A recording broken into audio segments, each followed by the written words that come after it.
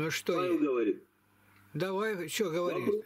Объявили? Давай вопрос, это не теряй время.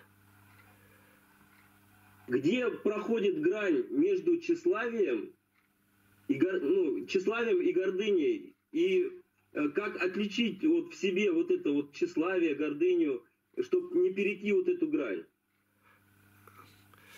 А вот ты слово гордыню бы не знал, если бы не встречался, что говорят священники. У них так одно прелесть и гордыня, все. А сами абсолютно 57% канонов полностью нарушается. И вот моченые, которые подходят, нет, нет, крещеный. Крещеные не будут крестить даже. Ну, ясно, что мошенники. И ни гордыни, ничего у них нету. Каждый творит, что выдумает. Этого нигде нету, в природе нету, ни при жизни человека, чтобы люди так столько правил, или как сказать, то, что положено делать. Гордыня. А чего ты будешь гордыней-то, мучиться-то? Где она была, гордыня? Вот начинает это не гордость, а гордыня. Это же тоже различие есть. Вот этот Масленников, когда там разборы делает, где вот столько с этого записать надо, все это мимо идет. Главный вопрос рождения свыше. Если человек не родился, его ни- ни- никак не заставишь все выполнять. Он будет все время спорить, не понимает. Здесь Бог будет тебя вести, открывать.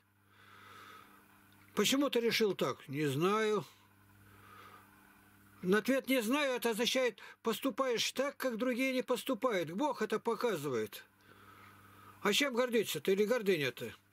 Если ты в углу где-то сидишь, что-то маленькое сделал, тебя уже захлестывает, ой-ой-ой. А если ты живешь этой жизнью христианской каждый день, и новые люди приходят через твое дело, то, что ты делаешь, на небе радость такая, а тебе думать об этом даже нет. А вот возгордился, вот они за только смотрят. От зависти все это. Братья продали Иосифа по зависти. Ну так какая зависть? А что, цветной халат ему отец шил? Пилат знает, что Христа предали из зависти. Они не могут это делать. И в этом свете, который Господь явил собой, это все поблекло. Вот встретиться с настоящим христианином, когда бывает где-то другое, там, буддисты, мусульмане, я видел это дело-то. Они сначала раскры- раскрылатятся, а потом сразу крылья поджимают, и все, нельзя. Нельзя так мыслить, ничего нет. Совесть не обсуждает, его нисколько не осуждает. Совесть. Ты пробуди ее, она тебе сразу подскажет. Не дядя. Почему Серахов говорит, совесть твоя подскажет больше, чем семь наблюдателей за тобою? Не мучайся этим, Павел, тебе гордиться-то нечем. И благодари Бога. Да, Где-то, слава Богу, нечем гордиться. где разница какая. Все это краснобайство. Работать надо, работать. А Мулевский как печатал. Работай руками, работай умом, работай без устали ночью и днем. А там уж что будет, то будет пускай так. Нужно работать мы дружно давай. Работать, не давать покоя себе. Со сном борись. Во всем экономии, значит, что у тебя на питание, сколько уходит, а остальное на дело Божие.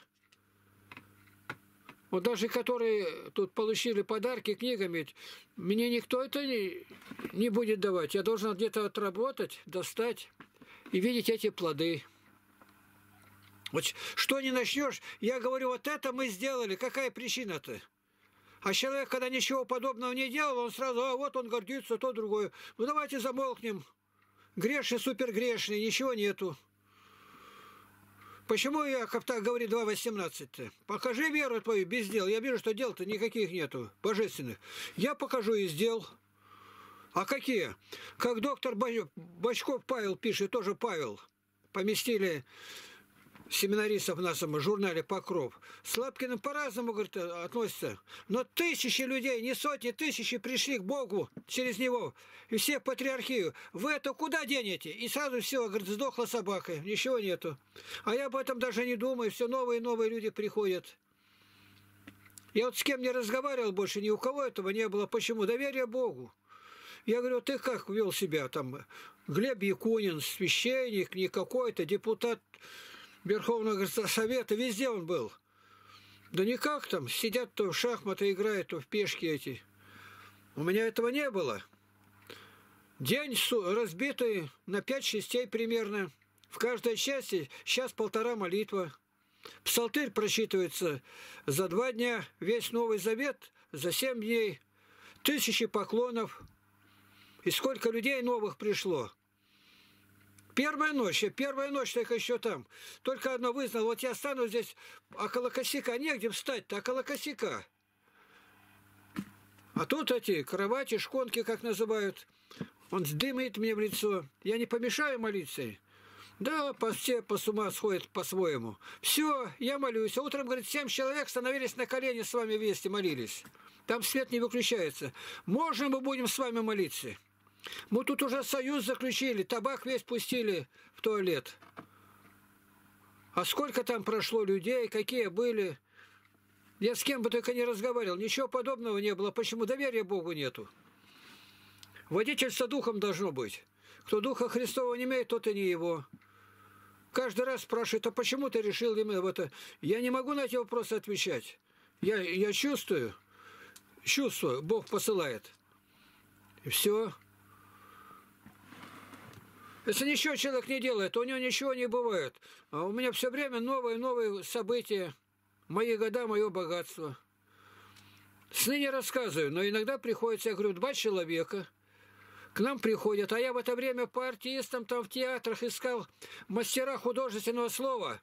Мне нужно закончить масонство, 14 лет отдал насчитать.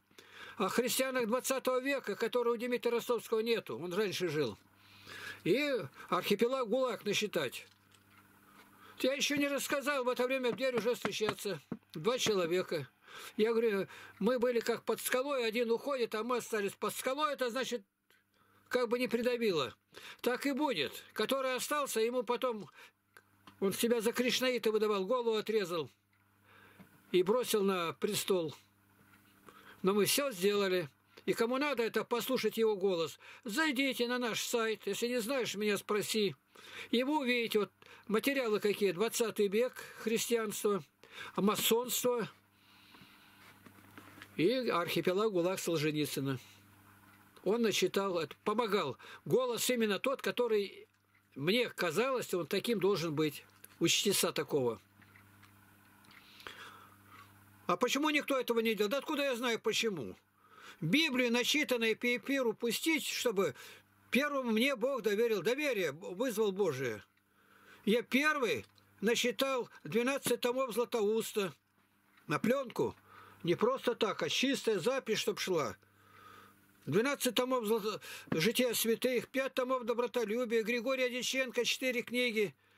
4, и каждая по 800 страниц. Сколько времени ушло? Почему никто это не сделал? А пленки, катушки, 375 метров, 8 часов 20 минут на каждой. Они разъехались, перешли границу. Там в Аргентину, это уже Америка, туда. Вот как. Почему? Да не могу я ответить на эти вопросы. Я вижу, что книг нету. Вот так. Симфония не было на неконической книге. Я его самостоятельно стал делать. В течение года 5 на 5 этих книг, ветко, ну, которые не канонические. Надо было все это записать, выстроить, какая буква по алфавиту, куда, что. Потом отпечатать это все, экземпляров 8. Почему никто не занимался этим? Но вот теперь, когда мы издали, у нас есть на неканонической книге отдельно, там 18 корректоров у меня было, и до конца никто не дотянул. Это не выскажешь, какая работа. Это по цифрам. Каждая буква, какая по алфавиту. Вот. Все, даже всегда, вседу. Ну и по алфавиту. Следующая буква за ней тоже по алфавиту идет. Ну попробуй маленько где-то. Составь симфонию на одну главу. Какую-нибудь. И ты увидишь, что у тебя получится. Я все время добавляю, у меня нет гуманитарного церковного образования нету. И я не нуждаюсь в этом. Потому что, которые говорят, академии кончают, ничего. Все по-другому выглядит, когда Господь с тобою. То у меня обращение было, ну, там, пять минут. то Помолились нам не больше 20 минут. Мне одновременно Бог дал рождение свыше и крещение Духом Святым. Огонь по всем костям разлился, как у Иеремии. Это то делает Бог. По благодати все это. Господь видел мою жажду и так сразу дал все. Я сколько проповедовал, через три месяца уже стоял за кафедрой. А Златоуста-то я не имел. Блаженного пепелакта в руках не было. А когда стали они у меня, я их переписал, отпечатал, я говорил то, что там написано. Откуда бы я это знал? Ну, Бог делает это. Его благодать. Он берет самое негодное. Поэтому слово гордость, прелесть, я вообще не знаю этих слов. Все это от пустоты. Если ты с Богом, какая гордость, какая гордыня? Чем? Когда я прах и пепел. Мы каждый день молимся. Будь милостив ко мне грешному. Без числа я согрешил. Какие еще молитвы-то надо считать? Боже, будь милостив ко мне грешному. Каждый день мы это считаем. А если ты грешный, значит, дальше уже да, расчет будет. А мы каждый день согрешаем, сами того не зная. Вот так, Павел.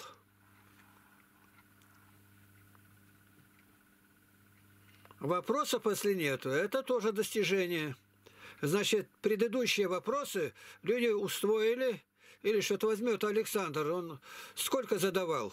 И ни разу не было, чтобы он был не согласен. А вот что такое прелюбодеяние, а что такое любодеяние? Ну, начинает это где-то. Я один раз отвечаю кратко, многое в немногих словах. Почему? Повеление Божие. Я часто спрашиваю, молодые люди идут, о чем вы сейчас разговаривали? Стоят, перемигиваются, не знают о чем. А вы у меня все время в голове или проповедь слагаю, или что, притом не просто отрывками, а с запятыми. Это тоже весьма необычно. Это Бог делает так. Вот я в Москве, когда бываю, на Берсеневке, отец Кирилл, вот, Сахаров, он сразу меня переодевает и на проповедь. Вот приехал, здесь сейчас я не вижу, отец Наум, Грузия. Он тоже меня говорить проповедь. И тоже два или три переводчика. А до этого больше никто не приезжал. А когда были, молочком побыли, и все. Это Бог дает. Отмечает вот эти рамки, ты из них не выходи. И не поворачивай назад. Взявший, говорит, рало, то есть плуг, и обрящся вспять, неуправен для Господа, то есть ненадежен. И ты все время понимаешь, это сегодня последний день. И с чем я предстану? Вот я открыл 135-й псалом. И я сразу заявил, первый стих я сказал проповедь, а там, кажется, 26 стихов. Я сказал, 26 проповедей будет. Завтра я буду говорить на второй стих. На каждый стих проповеди. Вот у нас в университете мы Царю Небесный пели. Я однажды решил объяснять его. И я его объяснил за 60, 60 проповедей, сказал. Царю Небесный, утешителю души истины. 60 проповедей. То одну-то не, не скажет человек. Почему? Этим ты живешь. За каждой буквой ты видишь благодать Божия. И что, никто не противоречит? Нет. Такого нет. Записки, когда присылают, я поэтому вижу. У нас не принято, чтобы кричать. Дисциплина, строгость. А так распустили, может, я не знаю. У тебя врагов сколько? Давай поговорим. Сколько у тебя врагов, которые против тебя идут здесь в интернете?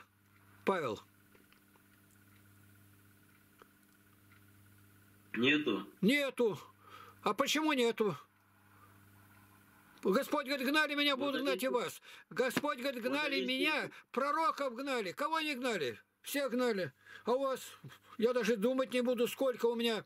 Я знаю, в черный список, говорят, уже 30 тысяч, наверное, занес только. Хулителей. Я за ночь стою, 71 звонок с угрозой. Вот телефон. Почему? Потому что все в точку. И они где-то там находят, заходят, и они как бешеные делаются. Вот у нас был тут один с Украины, и они когда уезжают, они совершенно бесноватые. За каждое слово и вы, вы, выигрывает в нем что-то. Была оказана честь, принятый был, питался, ел, пил, спал. Ушел туда, как будто семь злейших человека вошли. А что им отвечать? Никогда не отвечаю. Зачем отвечать? Если он избранный, Господь покажет ему. А нет, это бесполезно говорит. Он вылупается там. Почему? Или его там прижали, я так считаю, прижали его. Ездил туда, кто там такой? Он сказал, у меня был. Если у меня авторитет какой-то, не свергнуть. И он заходит, такую скверну говорит, а мне до того смешно. Выискивать-то ничего нету. Нету. А раз нет, значит, ничего и нет. А ему, значит, видимо, там условия, иначе пойдешь воевать. У них он сейчас по альтернативной основе, можно было, как вот у нас сейчас, в Украине отменили. Для баптистов, протестантам есть, могут они там служить, но не с оружием. Для православных нету. Винтовку в руки иди. Ну разве справедливо? Кришнаитам разрешается. Вот какое дело. Тоже надо знать, почему. Далеко залезли. Я пояснил как-то, тут у меня ролик стоит, почему так вот случилось, почему войска пришли туда, по-другому никак не могло быть. И когда вот люди говорят, вот такие оккупанты пришли, да будь он там на президента, ну это пустота. Попятились, далеко пошли. И чем это кончится? А почему? Потому что вся зараза, все церковное вот это извращение, все с Украины пришло. И когда от них тут сколько архиереев ездит, до того они злобные. Вот у нас только дали на Алтай тут, до этого, который был. Он их не знает, не разговаривал, но только кто-то сказал, что деревня строится православная, и туда священник ездит. И он сразу всех созвал и предупредил, кто поедет туда, значит, будете выгнаты, и все. Ни разу не встречался, не видел. Господь убрал его. А теперь митрополит с родным отцом меньше было бесед. Ну, кто знает, кто был, как он приезжает два раза в году по Теряевку, и секретарь, и хорист, и там, и... Того только нету. И как будто он наш архиерей, хотя мы патриархии никак не подчиняемся. Ни, ни одного дня мы у них не были. Нельзя, они сразу растерзают. Наше положение такое. Вот так.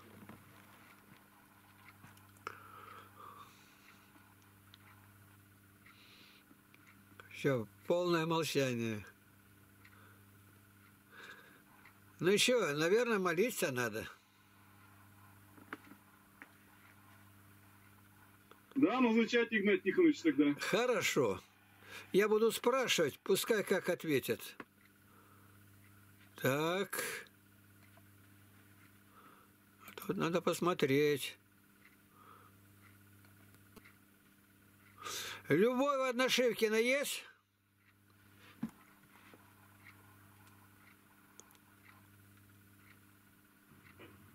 Есть. О, а что так долго молчала-то? Так плохо открываются.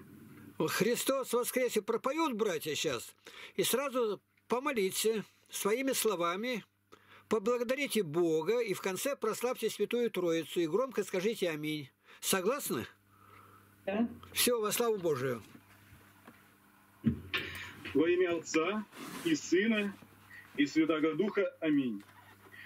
Ангел вопияши благодать нечистая, Дева радуйся, и по кирику радуйся, Твой Сын воскресе, три дни над гроба, и мертвые воздвигнул, и люди, веселитесь, Светися, светися, новый Иерусалиме, слава Бога Господня на тебе восия, ликуй и ныне веселися сегодня.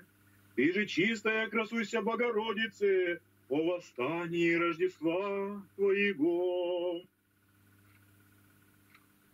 Господи Иисусе Христе, Сыне Божий, я благодарю Тебя. Мы все Тебя благодарим, милосердный наш Господь, за то, что Ты нам даешь собираться в это мирное время, за веру, которую Ты дал мне.